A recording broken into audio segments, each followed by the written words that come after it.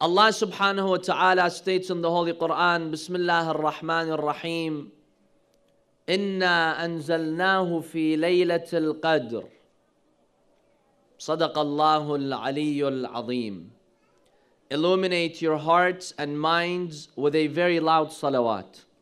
Allahumma salli ala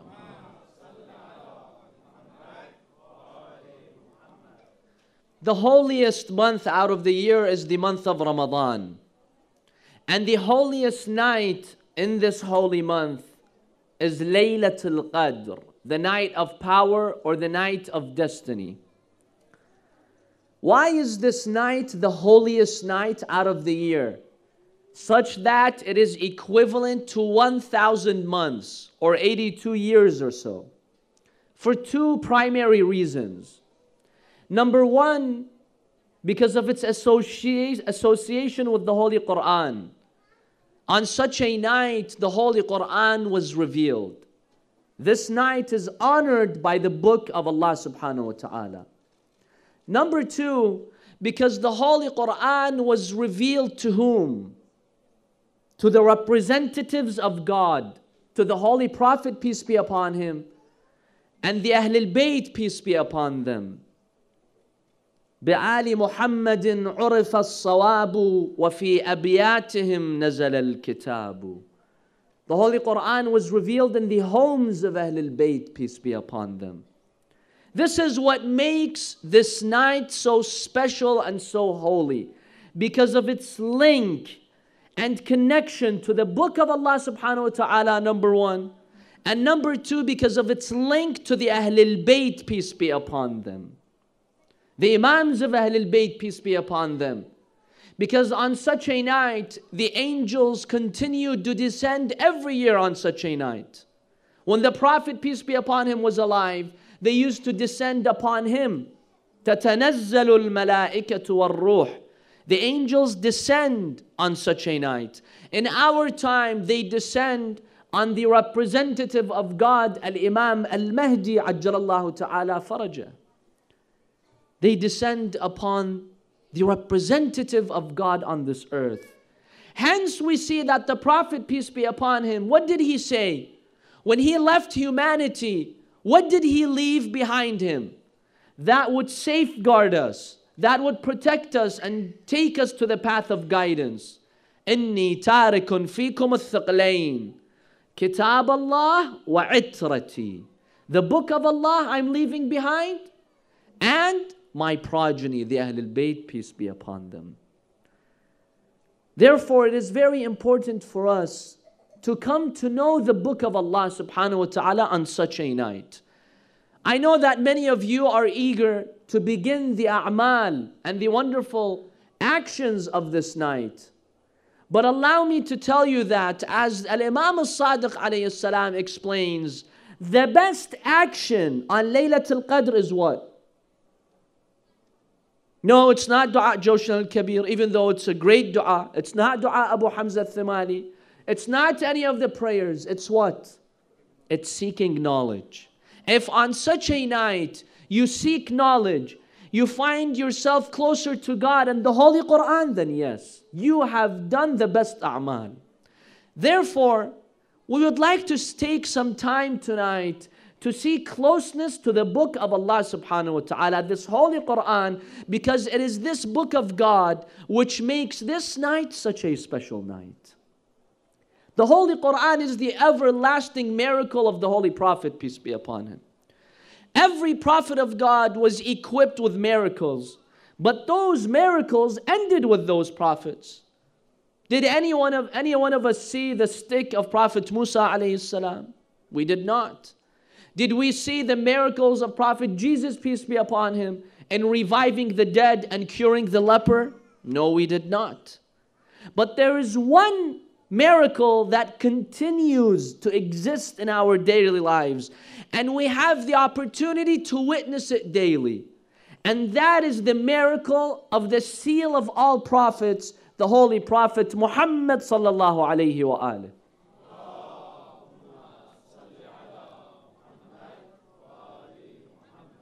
Now, many people wonder, especially those who are not experts in the Arabic language, Sometimes they come to us and they say, Say it. How do I know for sure that the Quran is the book of God and it's a miracle? I'm not an expert for me to examine the Holy Quran. So, how do I really know that this book is the miracle of Allah subhanahu wa ta'ala when I either don't speak the Arabic language or even if I do, I only know the basics of Arabic. I'm not an expert in the Arabic language. And some even come and object, like once I was in New York and this physician objected to me. He was not Arab. He says, You know, isn't this discrimination? Allah is favoring the Arabs over others by revealing the Quran in the Arabic language. Isn't this a type of discrimination? A type of favoritism for the Arabs or no? Some people ask, why is it that the Holy Quran was revealed in the Arabic language? First of all, the Prophet's tongue was Arabic because he was living in an Arabic society. The Prophet was in the Arabian Peninsula. Now, if you're in an environment which speaks Arabic and you receive a book of guidance from God, what do you expect? For God to reveal the Quran in a different language? Imagine the Quran was revealed in French in Arabia. Would anyone be guided? Would anyone benefit from the Quran? Could anyone carry the Quran to pass it down to us? No. Allah, one of the reasons why He chose the Arabic language, because the Prophet, peace be upon him, happened to be in an Arabic society. And as the Quran tells us, Allah subhanahu wa ta'ala has allowed every prophet to speak the language of his community, of the society in which he lives in. So, this is one reason, and it's very obvious. The second reason Allah subhanahu wa ta'ala wanted this final miracle, which would continue to the day of judgment. Allah subhanahu wa ta'ala wanted this miracle to be carried through a suitable language. And the language of Arabic is the most suitable language for the words of Allah subhanahu wa ta'ala because it could be argued that it is the most precise and concise and powerful language that we have. When it comes to its descriptive nature, when it comes to the power that we see in it. You know, that doctor in New York, he objected to me when I said that to him. He says, You know, how can you prove that? Who says Arabic is more precise and concise than any other language? I told him, Okay, Let's take the first ayah of the Quran. What's the first ayah of the Quran? Bismillah ar-Rahman ar-Rahim. How many words is that? Four words. Bismillah ar-Rahman ar-Rahim. Translate that into English. In the name of God, the compassionate, the merciful. You have nine words. Which one's more precise? Which one's more concise? You have a word in the Holy Quran, which is the longest word, or the second longest word, فَسَيَكْفِيكَهُمُ اللَّهِ Two words. فَسَيَكْفِيكَهُمْ Allah. Translate that into English. Allah subhanahu wa ta'ala will suffice you to protect you from their danger. Two words versus seven or eight words. Which one's more precise? Which one's more concise? Allah subhanahu wa ta'ala chose the vessel and the means to carry this final mu'jiza, this final message, this final miracle to be the most accurate language, the most precise and concise language, which is the Arabic language. This could be argued as one of the other reasons why Allah subhanahu wa ta'ala chose this language. It's not because He's favoring a group. And what demonstrates to you that Allah subhanahu wa ta'ala is not favoring a group, look at Muslims today. You know, Westerners, Americans, Canadians, Westerners, they think most Muslims are what? Are Arab. But that's not the case. Only 15 to 20% of all Muslims around the world are Arab. You see, Islam attracted more non Arabs than Arabs. Because the word of Allah subhanahu wa ta'ala does not favor a single group or a community, it's universal, it's for all. Now, how do I know? someone who does not speak Arabic or I'm not fluent in Arabic, how do I know that the Holy Quran is the miracle of Allah subhanahu wa ta'ala? It's that miraculous message of the Holy Prophet, peace be upon him. Well, let me ask you this question How do you know that the black hole exists? You know the black holes in the galaxies? Those areas in which gravity is so strong and concentrated? They're called the black hole. They're black because it traps light. Light cannot even pass through a black hole, it gets trapped in it because of its gravity. Or we see that we are told that light travels at a speed of 300,000 kilometers per second. How do we know that? Have you ever tested that? The average person does not have the device and the vacuum to test the speed of light. You trust the experts. When you see the scientific community, when you see the experts saying that certain realities exist in our lives, then you accept them. You accept their words. You trust the experts. For example, during the time of Prophet Musa alayhi when he performed that miracle, which was the stick, how did the people know this was a miracle? It could have been magic. He could have been a very knowledgeable magician. How did they know this was a miracle? When they saw the magicians, the sorcerers prostrate to Allah subhanahu wa ta'ala when they saw the miracle of Prophet Musa. So the people, they were impacted by the experts who were the magicians. During the time of Prophet Isa alayhi how did the people know that when Prophet Isa is reviving the dead and curing the leper, he's performing a miracle? Maybe that's a type of magic. How do we know? Because they saw the doctors of his time, they were baffled and they considered it to be a miracle, so they accepted. When you go to the community of experts and they bear witness that this is a miracle, this is one excellent way in which you can be sure that the Quran is that final miracle. Now, look at experts throughout history. Since the past 14 centuries, go to the experts of the Arabic language.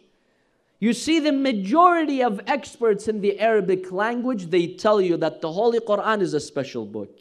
It's not the work of a human being, it's a special book. It's the word of Allah subhanahu wa ta'ala. Because nothing in history comes close to it in its power, in its delivery, in the literary gems that you find in the Holy Quran. And that's why, by the way, many of the experts on the Quran, and this is a lesson for us because you could argue, I'm not an Arab person. How do I know? Well, you know, a lot of the experts in the Quran, they were not Arabs. But they studied the Holy Quran and then they testified to it being a miracle. For example, Ar-Raghib al-Isfahani. Ar-Raghib al-Isfahani, he was a linguist and an exegete of the Quran, a mufassir. But he was not an Arab. He came from Isfahan. For example, you have Sibawayh. Sibawayh, the very famous grammarian. He was not Arab. Al Fakhr al Razi, the most famous Sunni exegete of the Quran. He's from Tabaristan. He was not an Arab. But we see all these non Arabs who became experts testifying to the greatness of the Quran and witnessing that is the miracle of Allah subhanahu wa ta'ala. In fact, you even have non Muslims who have testified to the greatness of the book of Allah subhanahu wa ta'ala. You have this professor at the University of Naples. She passed away maybe some 20 years ago. She was an expert in the Arabic language. This is the university in Italy. She was Italian. Laura Vaglieri. You know what she says about the Holy Quran? I want to read her her specific quote. She says, The heavenly book of Islam is miraculous and inimitable. You can't copy it. You cannot produce something like it or imitate it. Its style is totally unprecedented in Arabic literature, and its peculiar impact on the spirit of the human being derives from its special and superior characteristics. Then she says, How is it possible that such a book should be the work of Muhammad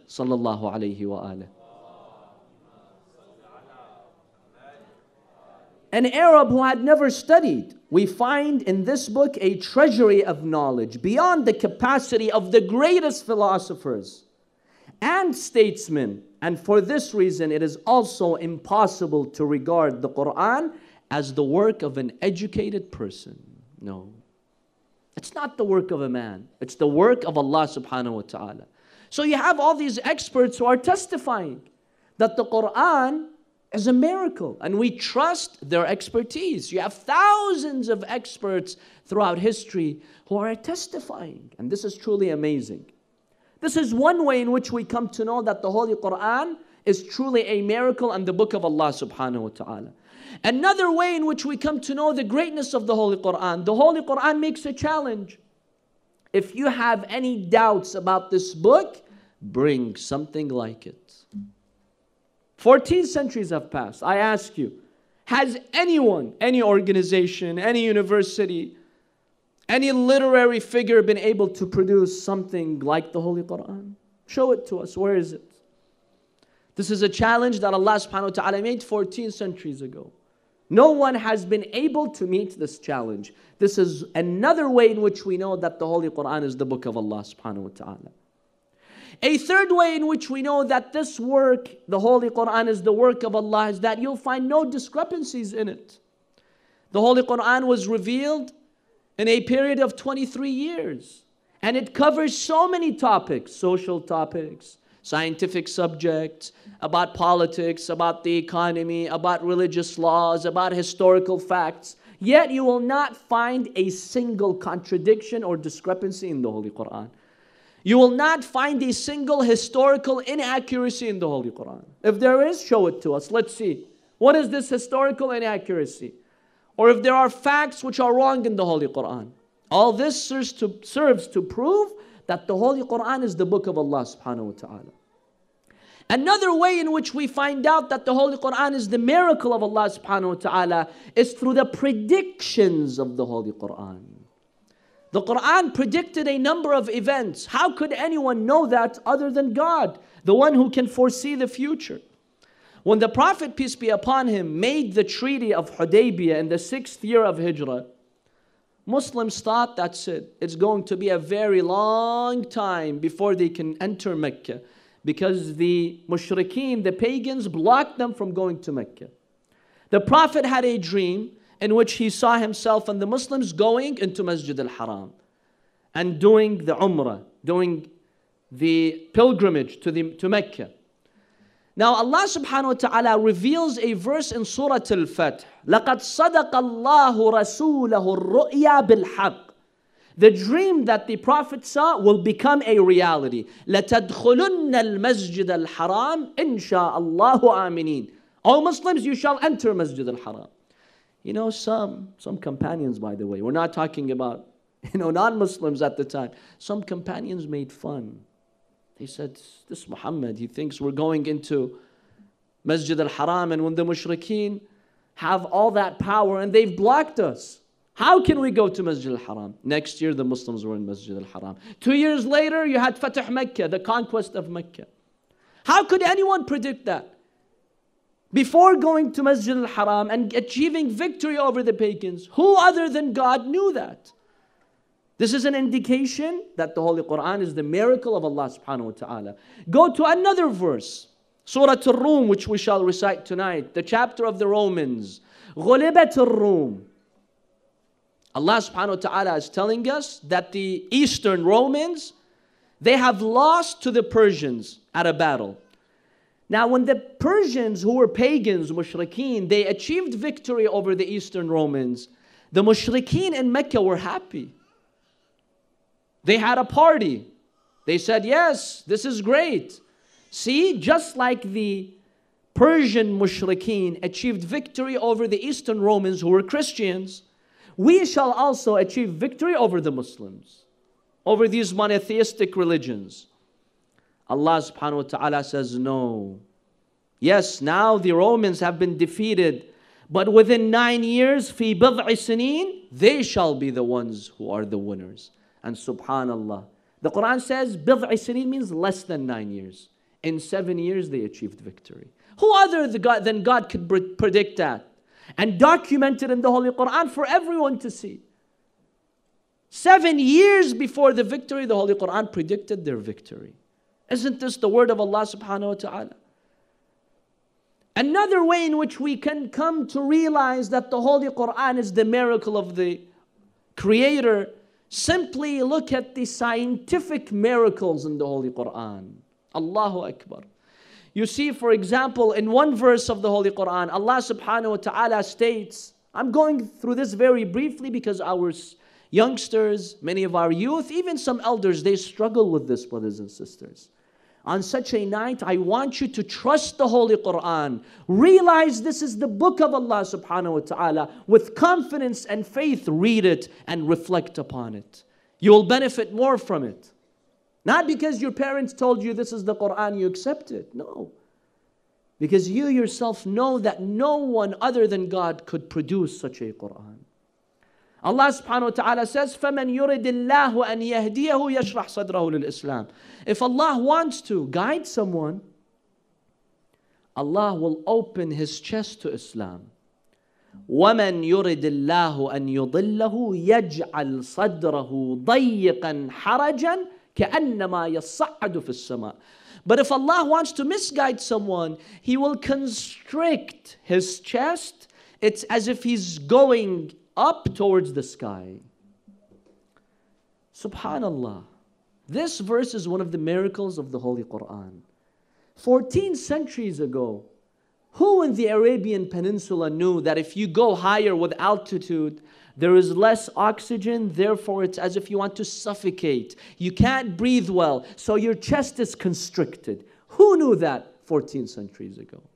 Now we know it because we have devices, because we go on an airplane and sometimes the oxygen level drops, we know that. And no, back then no one had climbed, climbed Mount Everest for him to know this fact. Mount Everest was climbed 90 years ago. In the 1920s was the first time when they reached the peak of Mount Everest. Who knew that 14 centuries ago? Isn't this the word of Allah subhanahu wa ta'ala? You see, another verse in the Holy Quran tells us that Allah has created every living thing from water. Who knew that in the Arabian Peninsula 14 centuries ago? Today, science confirms it, but back then, people did not know this. But Allah subhanahu wa ta'ala mentions this in the Holy Quran. We have another verse in the Holy Quran. وَالسَّمَاءَ بَنَيْنَاهَا بِأَيْدٍ وَإِنَّا لَمُوسِعُونَ Allah says, We have created the universe and we're constantly expanding it. I ask you, who in the world knew this 14 centuries ago? Which science knew this, that the universe was expanding? How could you tell? Yes, now with advanced technology, we can detect that the universe is expanding at a speed faster than the speed of light. But back then, who knew that? Subhanallah. This is the miracle of the Holy Quran, the book of Allah subhanahu wa ta'ala. And we have so many other verses in the Quran that testify to the greatness of Allah. Another verse, verse in the Holy Quran states, وَلَقَدْ جَعَلْنَا السَّمَاءَ سَقْفًا مَحْفُوظًا we have made the sky a protective ceiling. Allahu Akbar. What a beautiful phrase. Yes, you see the sky, you don't detect anything with your eye when you see. It's just thin air that you see. But this thin air is actually a protective ceiling for the earth. Doesn't the ozone protect you from UV radiation? The magnetic field of the earth, doesn't it not protect you? Could there been could there be life on earth without this? The gases that surround the earth, don't they protect us from meteors? From intruders coming to earth? Allah says, I've created a protective ceiling. Who knew that back then? 14 centuries ago, you'd look at the sky and you just see thin air. How did you know that this is a protective ceiling? But this is the Word of God, the everlasting miracle of the Holy Prophet, peace be upon him. Now, tonight, as we come to our final series in examining Nahj al Balagha, I want to share with you a few descriptions that Imam Ali ibn Abi Talib salam uses in Nahj al Balagha to refer to the book of Allah subhanahu wa ta'ala. The amazing words of the Imam. How did Ali ibn Abi Talib describe the Holy Quran? This book, which was revealed on such a night, which we want to get closer to on such a night. Listen to the beautiful descriptions of Amir al Mu'mineen. In one hadith in Nahj al-Balagha, the Imam says, ظاهره أنيق. The outer appearance of the Quran is fascinating. It's nice and tidy. وباطنه عميق. But it's very deep from the inside. From the inside, you see the depths of the Holy Quran. لا تفنى عجائبه ولا تنقضي غرائبه. The wonders of the Quran never finish. And every single day we discover new wonders in the Holy Quran. Truly, the wonders of this book never cease to recur in our lives and throughout history. Now, the Imam alayhi in bringing this Holy Quran closer to us, he describes the Holy Quran as a book which allows you to see God. You know, as you all know, one way in which you can come to know an author is through his or her book. When you see a book, that book is a window into the author. You become closer to the author. You begin to see how the author thinks, what kind of a personality the author has. The Imam alayhi salam in Nahj al-Balagha teaches us that Allah subhanahu wa ta'ala he uncovers his glory in the Quran. فتجلى لهم سبحانه وتعالى في كتابه من غير أن يكونوا رأوه Without seeing God with your naked eyes, with these physical eyes, the Holy Quran gives you an opportunity to see Allah through your heart. Look at the Quran and you will see Allah subhanahu wa ta'ala. فأراهم حلمه كيف حلم وأراهم عفوه كيف عفا وأراهم قدرته كيف قدر You want to see the attributes of God? You want to see the patience of God, see the Holy Quran. You want to see the forgiveness of God, see the Holy Quran. You want to see the power of God, see the Holy Quran. The Holy Quran gives you a beautiful window into seeing your Creator, into seeing the Almighty Allah subhanahu wa ta'ala. Unfortunately, many of us do not know God. Why? Because we do not know the Holy Quran. Come to know the Holy Quran, embrace the Holy Quran, and you'll come to know Allah subhanahu wa ta'ala. Then the Imam alayhi salam, in a beautiful description, he teaches us, listen to this very powerful statement. The Imam alayhi salam says, وَاعْلَمُوا أَنَّ هَذَا الْقُرْآنِ هو الناصح الذي لا يغش والهادي الذي لا يضل والمحدث الذي لا يكذب. Oh people know that this Quran is the sincere book, the honest book which will never deceive you. With any other book, you could be deceived, except the Holy Quran. And the guide which will never misguide you. And the book which speaks and never tells a lie. It applies only to the book of Allah, brothers and sisters. Only the Holy Quran. There's no discrepancy in it, no inaccuracy in it. Some have tried to throughout history to bring inaccuracies, but they have failed. All those efforts have failed. The Quran, we see history testifies to its truthfulness. Not a single verse in the Holy Quran is inaccurate or has false information. You know, they say that once there was a professor at the university and he was speaking to his students. And he was telling them that, who's a Muslim here? Let me see a raise of hands. So one of those students raised his hand. He told him, You believe the Quran is the book of God? He said, Yes, of course, I believe that. He says, You believe the Quran, everything that it says is accurate? He says, Yes, of course, I believe that. He says, Well, we have an issue because in Surah Al Ahzab, Allah subhanahu wa ta'ala states, ما جعل الله لرجل من قلبين في جوفه. Allah says, We have not created two hearts in a man. He says, why does the Quran say man? This is inaccurate. Because women, they don't have two hearts. Why is the Quran only singling out the man? The student thought a little bit. He was intelligent, you know. He wasn't saying the tafsir of the Quran. He was just trying to give a nice reply to his professor. He said, No, the Quran is very accurate. Only a man has one heart. A woman can have two hearts. He says, How? What do you mean? Is this what the Quran teaches you? He says, No, Habibi, this is what pregnancy teaches me. A woman, when she is pregnant, she can have two hearts. That's why Allah says a man does not have two hearts in him. And subhanAllah, we see the amazing you know, dimensions of the Holy Quran. By the way, this is not the tafsir of the verse. The verse has another tafsir.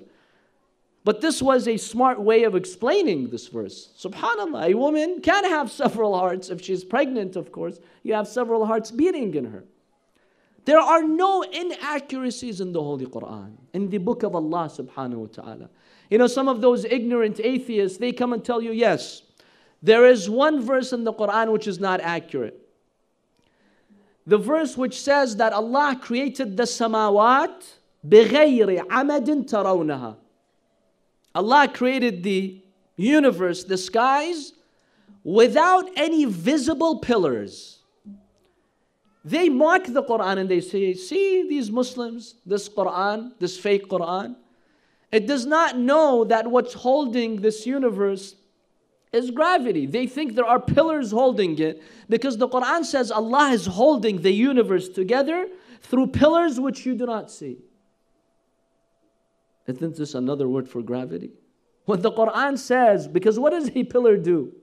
A pillar holds something. How is Allah subhanahu wa ta'ala holding the universe? Allah is saying with pillars that you can't see, the eyes cannot detect them. That's exactly what gravity is, subhanAllah. They try to use the verses against the Quran, but these verses prove the authenticity of the Quran. You can't see gravity, but it's holding the universe. We can detect gra- gravity, but you can't see it with the visible eye. This is the miracle of the book of Allah subhanahu wa ta'ala. And you'll find them making very silly objections to the Quran, like Maryam ibn Imran. She's the daughter of Imran. And the Quran says, Ya Ukhta Harun, she's the sister of Harun. So the Quran is saying that she's the sister of Prophet Musa because he's also Musa ibn Amran. And there's over 1,000 years between Prophet Musa and Maryam. These silly objections.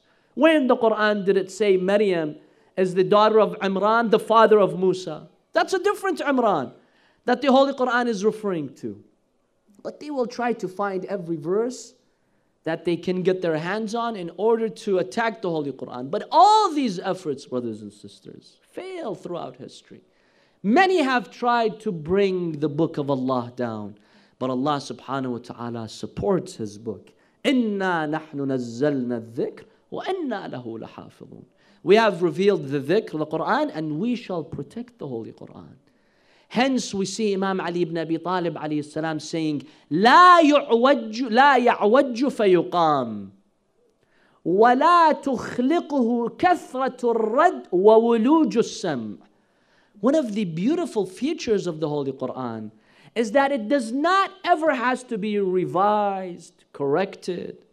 And the more and more you read it, discuss it, the more fresh it becomes.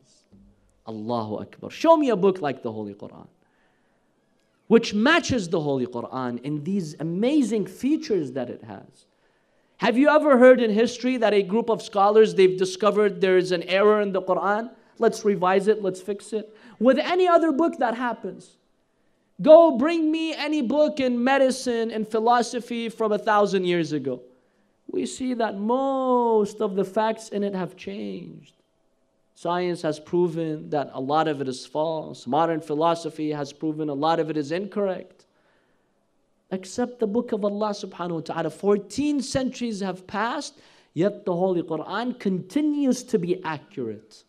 You know, even when you go to the Bible, scholars of the Bible, we're talking about Christian scholars, they admit that the Bible has some inaccuracies. Because the Bible is not the actual Word of God. It's the word of who? Mark, John, Paul. Paul wrote most of the Bible, by the way. And the Christianity that we have today is Pauline Christianity. You know, Paul never saw Jesus in his life. Well, he claims he saw him once through a vision, but we're not going to believe his vision, of course. But Paul never saw Jesus. How can I take my holy book from a man who never saw Jesus, and he was not one of his students or disciples. He never lived with Jesus, he never even heard Prophet Jesus. Of course, you're going to have inaccuracies in this book. We believe in the original Bible, but not the Bible that we have today. This has been changed. This is the impression of Paul and Mark and John and these others who wrote the Bible. These are not the actual words of Allah. Hence, Al Imam Ali ibn Abi Talib alayhi salam, in referring to the Quran, he says, وَكِتَابَ اللَّهِ بَيْنَ أَظْهُرِكُمْ Look, this is the only book of God, which is the actual word of God that you have. All other books in history, people either did not have access to them. You know the Torah? Even during the Jewish nations, which had the Torah, the average people did not have access to the Torah. Only the rabbis and some Jewish scholars they had access to it. The average layperson, they didn't have access to the full Torah. The Imam is saying, but the Quran, everyone has access to it. You can memorize it, you can read it. You don't have to go and take the Quran from a scholar. No, everyone has the book of Allah. Look at this wonderful book of Allah. Allah has given you the opportunity. So we see that in the Holy Quran, there are no errors, no inaccur- inaccuracies whatsoever. And that's truly amazing. And the more you read the Quran, the more fresh it becomes. The Quran speaks to you even in 2016. It's as if the Quran was revealed today. If you understand the Quran and you comprehend it, you see that the Quran is always fresh, speaking to you in such an amazing way. Subhanallah. Every other book, you know, gets outdated, becomes archaic. It's no longer relevant. But the book of Allah subhanahu wa ta'ala, it's always relevant. You read those verses tonight, brothers and sisters, see how they will interact with your heart. But try to understand them so you can apply them to your everyday lifestyle. This is the book of Allah subhanahu wa ta'ala. Let's appreciate the Holy Quran. That's why the Imam alayhi salam in Nahj al-Balagha, he says, with the Holy Quran, there's no poverty. You don't need anything. And without it, there's no richness. You can have all the riches of the world, but if you don't have the Holy Quran, you're not rich. You're the poorest of the poor. This amazing book of Allah, in which Imam Zain al Abidin salam, he teaches us that it is truly a treasure. The Imam says, when you come across a verse, it's a treasure box. Open it. See what's inside it. Unfortunately, in the month of Ramadan, when we read the Quran, we're always hasty looking when will this surah will end, when this juz'ah and chapter will end. The Imam says it's a treasure box. Look into this treasure. What do you have in this treasure? Do we treat the Holy Quran that way, brothers and sisters, or no? This is the problem. We have mistreated the Holy Quran. وقال الرسول Look at Surah Al-Furqan on the day of judgment. What, would Allah, what will the Prophet say? يا رب إن قوم اتخذوا هذا القرآن مهجورا Oh Allah, my people, they abandoned the Quran. They neglected the Quran. The Prophet and the Quran will complain on the day of judgment if we did not make this holy book a part of our everyday lives. Then we see Imam Ali ibn Abi Talib giving us a fascinating description of the Quran. The Imam alayhi salam says, As-samit and-natiq. One of the features of this Quran is that it's silent, it's vocal. Now some may think Imam Ali alayhi salam is contradicting himself when he gives us a few descriptions. For example, the Imam says the Quran is silent and vocal. Then in another part of Nahj al-Balagha, the Imam says, الناطق الذي لا يعيا. The Quran is vocal and it never gets tired. Then we see in another part of Nahj al-Balagha, the Imam says, فهذا القرآن فاستنطقوه ولن ينطق لكم. this is the Quran. Try to speak to it, have it speak to you, but it will not speak to you. Is this a contradiction? What's this dichotomy here? That the Quran is silent but it also speaks to us. In order to understand that, let's take this through stages. For most Muslims, yes, unfortunately, the, Quran is silent. Why? Because we treat it as such. We don't deal with it properly, so it's a silent book. It's only a book that we use for barakah, for khira. And maybe if someone passes away, we take the Quran And it's just a routine that we read the Quran. The Imam, he himself said, There shall come a time in which nothing from Islam will remain except its name, and nothing from the Quran except its routine. The Quran will become a routine. So, unfortunately, for most Muslims, yes, the Quran is silent. The Quran does not solve our problems. Why? Because we don't treat it properly. We don't try to take its solution. When you go to a doctor, he gives you a prescription. You don't take that prescription, kiss it, and seek its blessings and put it on your shelf for 30 years, do you? No. Because you'll be mocking yourself and your doctor and the prescription. When you get a prescription, use it. Go and get the medicine and actually take it. The Holy Quran is a prescription from Allah subhanahu wa ta'ala. It's not only for barakah and khira. The Holy Quran is for us to get the solution from. Now, yes, for some, those very few believing Muslims, the Quran is vocal. It speaks to them. Natiq. You open the Holy Quran, every time you read the same verse in Surah, but it speaks to you differently. It really soothes your heart and it gives you the solution to your problems. Then the Imam salam says, But there is a condition. The Quran will not speak to you unless I tell you about the Quran. The Imam is teaching Muslims after 14 centuries that you will not get to the book of Allah subhanahu wa ta'ala without the Ahlul Bayt. You want the Quran to speak to you? Go through its right path. Go through the Ahlul Bayt whom Allah subhanahu wa ta'ala has assigned to explain to us the Holy Quran. You know why 14 centuries have passed and the Muslim world is in a mess? Because they have not approached the Quran with the key of Ahlul Bayt. They're trying keys, all these keys, but the golden key is in the hands of Ahlul Bayt. You don't take that key, you will not unlock the secrets of the Holy Quran. This entire Quran that we have is, is from the blessings of Ahlul Bayt, peace be upon them. You know, even the qira'ah that we have today, because there was a time where you had multiple recitations of the Quran, multiple versions. This correct version that we have today, you know, is who? From who? From the followers of Imam Ali and from Imam Ali alayhi salam. Because who's the one who narrates to us the version of the Quran we have today? Hafs. Hafs was a Shi'i from the companions of Imam al-Sadiq alayhi salam. Who does he narrate it from? From Asim. Asim was a Shi'i in Kufa. Who does he narrate it from? He narrates it from Abu Abdul Rahman as-Silmi or as-Salami, the companion of Amir al-Mu'minin from Imam Ali.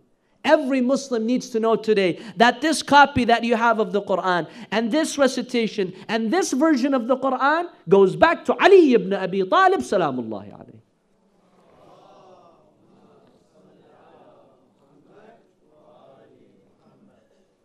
But have we done justice to the Ahlul Bayt, peace be upon them? Then finally the Imam alayhi salam says, فَإِنَّ فِيهِ شِفَاءً مِّن كُلِّ دَاءٍ The Quran has the cure from every disease, especially the biggest disease. من أكبر الداء وهو الكفر والنفاق والغي والضلال. The biggest disease is the disease of the heart disbelief, hypocrisy, and going astray. The Quran gives you protection from all of that. It is the medicine that will heal you from the biggest type of disease that you have. Then the Imam alayhi in this final statement, listen to what he says. فَاسْأَلُوا اللَّهَ بِهِ Turn to Allah through the Holy Quran. This book is your means to Allah subhanahu wa ta'ala.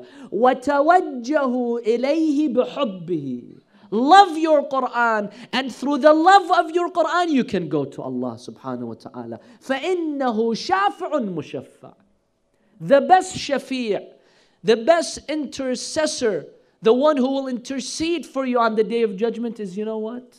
The Holy Quran. Because the hadith says, Sunni and Shia sources, from the Prophet and the Imams of Ahlul Bayt, we have multiple narrations that tell us on the day of judgment, as a person is going through those difficult, very difficult moments, where you realize maybe your deeds are not the best of deeds, and you have so many sins, but you did not mistreat the Quran. You took some time every once in a while to read the book of Allah. You respected the book of Allah. You tried to practice it with sincerity. You know what the hadith says? In the grave and especially on the day of judgment. While we're frightened in the saha of mahshar before Allah subhanahu wa ta'ala, this beautiful creation, with this beautiful perfume, with this beautiful face will come to you. He will grab your hands and He will take you to paradise. He'll save you from all of those troubles on the day of judgment. As you're passing Sirat, He'll hold your hands and He'll take you the other side. When you get to the door of paradise, you will look at this beautiful being. Who are you? You look so beautiful and handsome. And you have taken me and saved me from all these troubles. Can you please introduce yourself to me? That being will tell you, Yes, I am the Holy Quran. I am the book of Allah subhanahu wa ta'ala. Because you were good to me when you were alive in the world, I have now come to pay you back. Then you will enter the paradise with the book of Allah. Then the Quran will tell you, Now read me. Read a verse and I'll elevate you. The more verses you read, not only just memorized, but practiced. The more verses you've practiced in life, the higher your level be in paradise. This is the power of shafa'ah.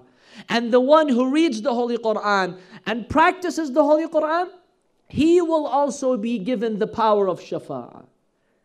Allah will empower you to do shafa'ah for 10 people through the blessings of the Holy Quran on such a night, brothers and sisters, open your heart to the Holy Quran, to the forgiveness that we find in the Holy Quran. قل يا عبادي الذين أسرفوا على أنفسهم See how the Quran speaks to those sinners. Oh Allah, on such a night. We're all sinners. But the hope is in the Holy Quran. قل يا عبادي الذين أسرفوا على أنفسهم Oh you the ones who have sinned excessively Doesn't this apply to us? لا تقنطوا من رحمة الله Never lose hope from the mercy of Allah إن الله يغفر الذنوب جميعا Allah will forgive all of the sins. Look at another verse that's even more fascinating. See how Allah subhanahu wa ta'ala speaks in Surah Al-Furqan. إلا من آمن وعمل عملا إلا من تاب وآمن وعمل عملا صالحا فأولئك يبدل الله سيئاتهم حسنات You know what this verse says? No, it's not that Allah will forgive your sins tonight. No, no, no. This verse takes it to another level. See how generous Allah is. Not only will Allah give you good deeds tonight and forgive you your sins, no. That sin which you committed, Allah will transform it into a deed. Such that on the day of judgment, you'll see a huge mountain of deeds. Oh Allah, I never did those deeds. Allah says, Because you were a believer and because you repented, I transformed all of those sins and made them into deeds. Show me more generosity than that. That sin which you committed, that sin in itself will become a good deed. Just like a tree. Haven't you seen a tree that produces these beautiful, delicious fruits? How does it do so? From the dirty soil, from the fertilizer. You see how the fertilizer changes into this beautiful smell of the fruit? That's how Tawbah changes your sins into good deeds. It's like a tree that takes the sins and transforms them into good deeds. Open your heart on such a night to the book of Allah subhanahu wa ta'ala. And now I request everyone to grab a copy of the Holy Quran so that we turn to Allah subhanahu wa ta'ala. وَشَافِعٌ مُشَفَّعٌ It is the book that shall intercede for us, brothers and sisters. Take the Quran, place it before you. Open the Holy Quran to any random page. Look at the book of Allah subhanahu wa ta'ala. The book of Allah subhanahu wa ta'ala will heal your heart. It will heal your heart. Take a copy of the Holy Quran, open it. So we begin the a'mal of Laylatul Qadr, inshallah. Sallu ala Muhammad wa ali Muhammad.